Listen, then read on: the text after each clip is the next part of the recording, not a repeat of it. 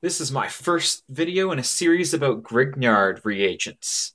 Grignard reagents are going to be used to attack carbons that have a delta plus charge, and they're made by mixing an alkyl halide, that's some kind of carbon chain with a halogen atom on it, with magnesium. Now, this is my alkyl halide, some kind of carbon chain, doesn't matter how long, and a halogen atom connected to it.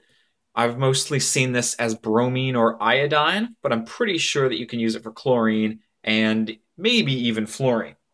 But in any case, the idea behind the Grignard reagents is that when you mix the alkyl halide with the magnesium, you end up with the magnesium atom between the alkyl chain and the halogen atom itself. The reason this is important is because in the original molecule, the alkyl halide, you have a carbon connected to an electronegative atom. The electronegative atom prefers to have or is hungrier for electrons, so gets a little delta minus charge. The electrons in the bond spend a little bit more time around it. And thusly, the carbon is delta plus. It's a little bit deficient of electron density, again, because it's connected to an electronegative atom. But by adding magnesium, and by the way, it has to be in ether. You can't have water around because water will react with this and you'll get something completely different than you want. We put the magnesium in between the two. Now, this uh, halogen is still electronegative, so it's probably delta minus. But carbon is more electronegative than magnesium, so it is also delta minus relative to the magnesium. Remember, magnesium is a metal, and so it donates electron density pretty easily. It gets the positive charge here, or the delta plus, I should say, where the R now has a delta minus. Was delta plus, now is delta minus.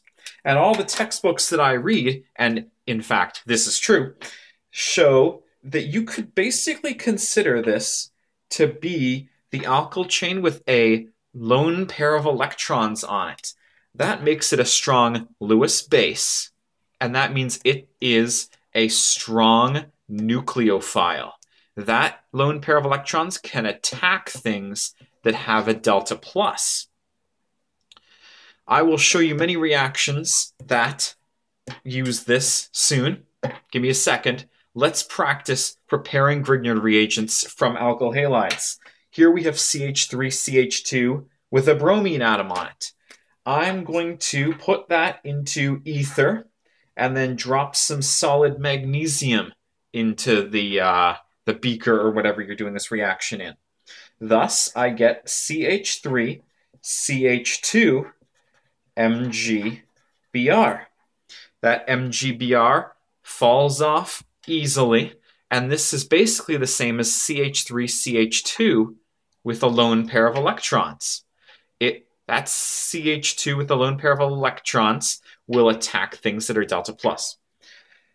This is a cyclohexyl substituent. I didn't actually draw it out for you, but it's something like that. If we put that into ether and then drop some solid magnesium into it, we end up with C6H11 with an Mg attached and an I. Let me draw that for you, just to give you another visual. MgI. It's the exact same thing, but you put an Mg in between the carbon chain and the iodine.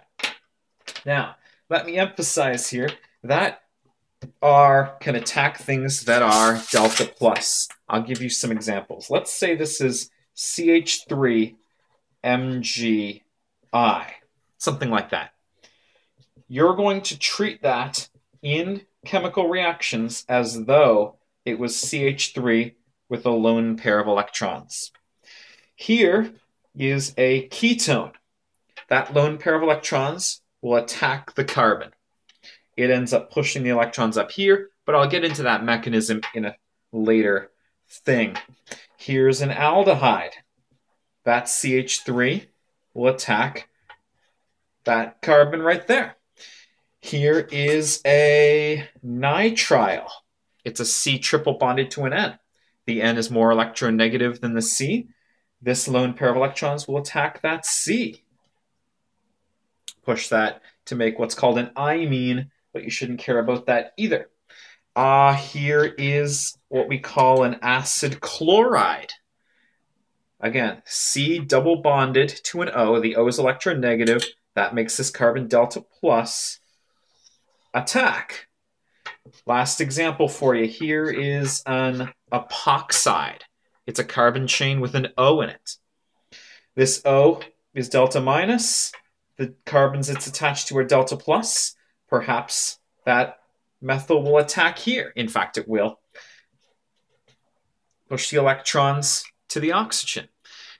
These Grignard reagents can react with any molecule that has a delta plus center the same way a nucleophile would, and that is the rest of the story.